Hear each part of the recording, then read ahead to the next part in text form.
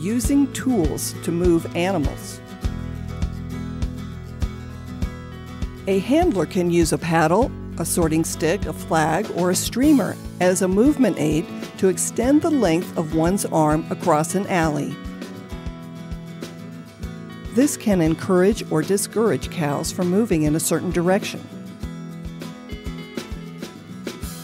These tools are not to be used as items to hit, prod, or otherwise touch the animals. They are merely an extension of a person's reach. Electric prods are not to be used for the routine handling of animals. Forceful use of the tail to move or restrain the cow can result in injury. This is considered abuse and is unacceptable.